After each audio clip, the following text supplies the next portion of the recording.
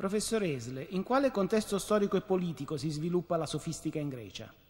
La sofistica si sviluppa secondo, seco, nella seconda parte del V secolo a.C.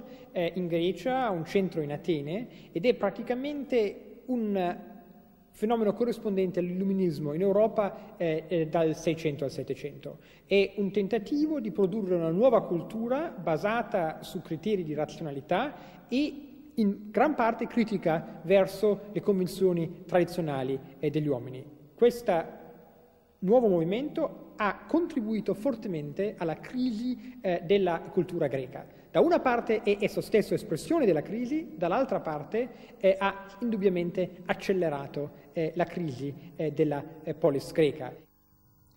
Il trattato del sofista Gorgia sul non ente o non essere è un po' il manifesto filosofico della sofistica. Quali sono i contenuti e il valore di questo trattato? A questo trattato di Gorgia è stato attribuito in tempo posteriore il titolo del non ente e questo già dimostra che se Parmenide in un certo senso è l'inizio della filosofia greca, Gorgia è l'antitesi rispetto alla tesi del pensiero eleata. Il trattato di Gorgia è un tratta- trattato profondamente anti-eleata. Ricordiamoci, in Parmenide eh, viene, eh, è assunto che esiste un essere assoluto, che questo essere assoluto è identico col pensiero, che il nostro pensiero è in grado di riconoscere questo essere e viene anche assunto che noi possiamo parlare di questo essere. Ora possiamo dire che nel trattato di Gorgia ah, troviamo i membra di Siecta, eh, le membra divise dell'unità di oggettività, soggettività e intrasoggettività che troviamo in Parmenide. Infatti questo trattato ha tre tesi. La prima dice non c'è niente, la seconda dice non c'è niente, ma se ci fosse qualche cosa non potremmo conoscerlo. La terza tesi dice non possiamo conoscere niente, ma se potessimo conoscerla non potremmo comunicarlo uno agli altri. Cioè abbiamo qui una negazione dell'essere, della conoscenza dell'essere e della comunicazione dell'essere. Evidentemente il trattato non è di facile interpretazione, ci sono anche problemi eh, di interpretazione filologica, dato che questo trattato è stato tramandato in due versioni. Una versione nell'opera eh, del eh, grande scettico Sesto Empirico nel III secolo d.C., e l'altro in un trattato che noi troviamo nel corpo delle opere di Aristotele, ma che sicuramente non è di Aristotele, eh, dove vengono eh, riferiti eh, questi pensieri. Ora, eh, quello che Gorgia vuole dire sicuramente non è che non esiste niente, ma che non esiste niente di assoluto. Non esiste un ente come Parmenide credeva che potesse esistere, un ente che è meramente essere.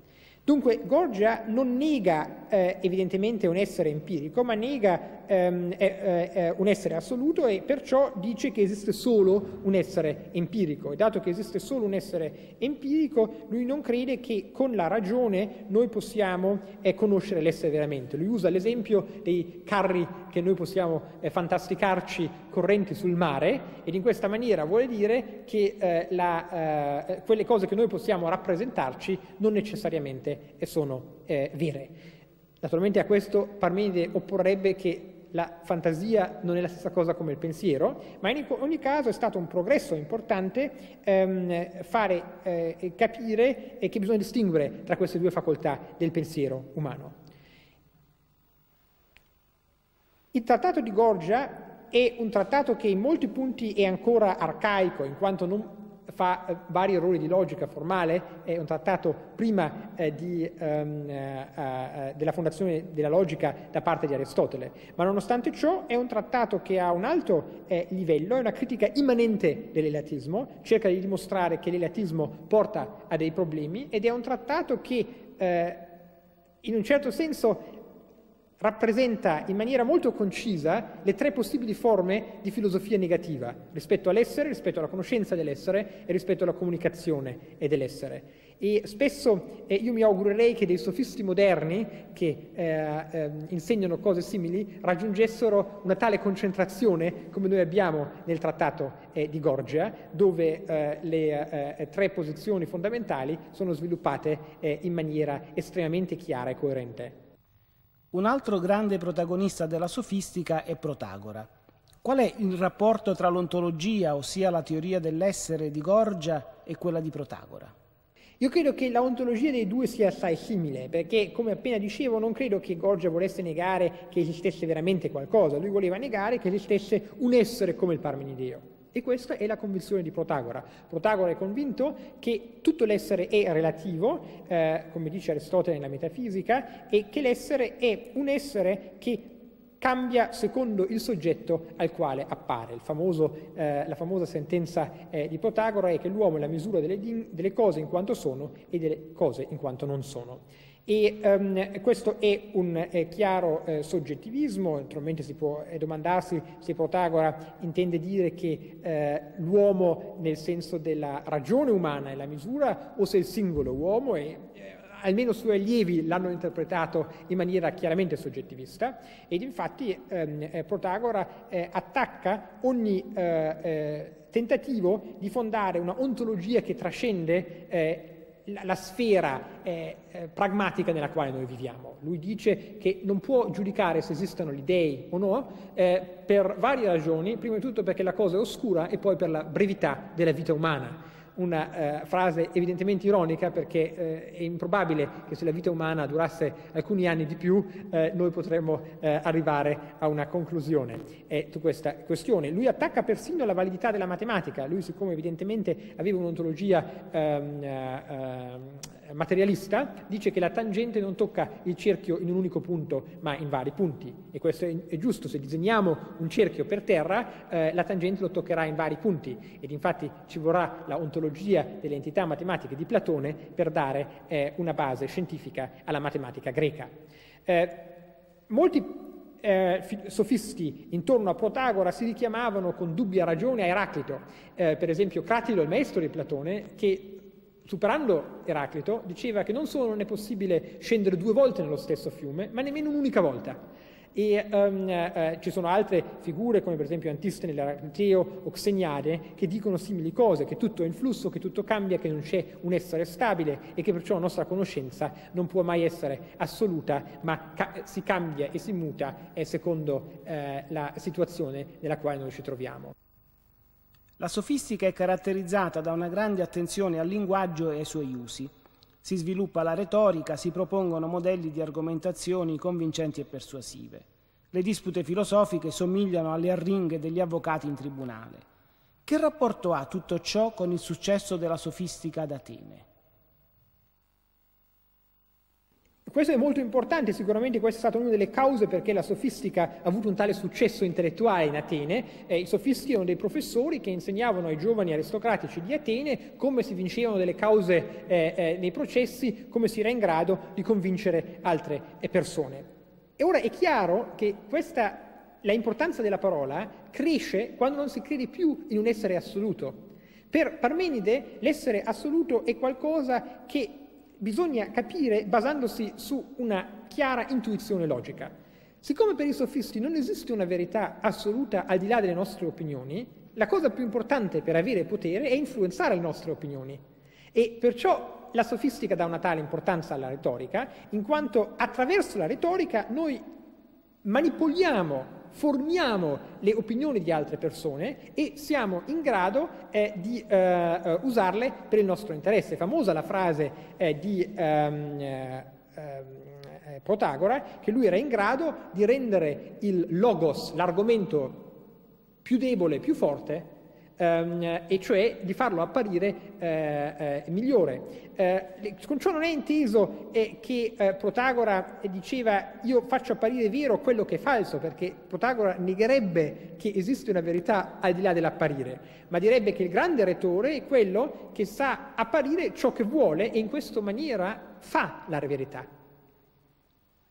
Per quanto riguarda l'analisi del linguaggio, questo è sicuramente un grande merito della sofistica che proprio per, a causa di questi momenti eh, di diffidenza verso eh, la eh, conoscenza umana eh, si mette a criticare il linguaggio. Per esempio, eh, vari sofisti, Prodico per esempio, analizzano omonimi, analizzano il fatto che nelle parole ehm, eh, ci sono delle parole che significano cose diverse e che um, un filosofo deve essere conscio di questo fatto per non essere sedotto dal linguaggio a commettere eh, errori eh, logici.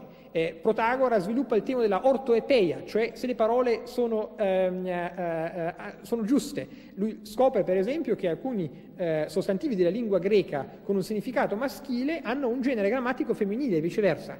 E l'analisi di omonimie, di sinonimie, di nonimie, di metonimie, come la troviamo in Democrito, è sicuramente un contributo importante per una fondazione più rigorosa e più critica della ehm, eh, filosofia. Quello che dicevo prima di Gorgia la scissione dell'unità di essere, pensiero e parola, eh, che noi troviamo ancora in Parmenide, eh, deve portare a una critica del linguaggio. Bisogna scoprire che il linguaggio e la parola e il pensiero, e la parola e il pensiero non sono identiche, ma che ci sono tensioni eh, fra di esso, come per esempio nella, nel caso dell'omonimia. Spesso si è paragonata la sofistica agli illuministi francesi del Settecento, al loro sforzo di diffusione del sapere e alla loro critica ai modi di pensare tradizionali. Perché? Come dicevamo prima, uno dei aspetti più importanti della sofistica è la retorica. La sofistica tenta di portare a una nuova cultura e sicuramente un passaggio molto importante che avviene nella seconda metà del V secolo è il passaggio al medium del libro.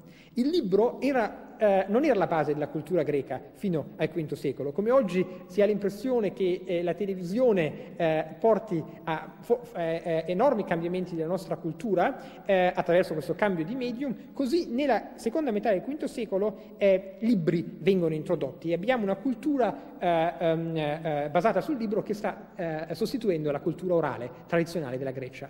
Lo stesso vale um, uh, per i sofisti che evidentemente eh, introducono um, un approccio razionale verso la cultura eh, e um, eh, incominciano anche, eh, come gli enciclopedisti francesi, a raccogliere il sapere del loro tempo. Noi sappiamo che Ippia, per esempio, un, aveva scritto una specie di lessico di conversazione. Noi sappiamo che Ippia aveva sviluppato la mnemotecnica, siccome eh, si voleva sapere, eh, raccogliere il sapere umano, eh, bisognava sviluppare delle tecniche per ricordarsi tutti i fatti ai quali i sofisti erano interessati. I sofisti avevano un grande interesse anche verso la pedagogia e ehm, se si leggono le ehm, nuvole di Aristofane eh, troviamo dei brani eh, dove eh, il nuovo ideale di educazione, che è un ideale di educazione individuale, che si rivolge alla individualità della persona da educare, viene contrapposto alla tradizionale educazione. Cioè abbiamo un tentativo di cambiare le istituzioni e le forme di cultura e di educazione di una eh, civiltà. Questo eh, fa della sofistica un movimento con enorme impatto eh, eh, sociale e, um, um, e politico anche.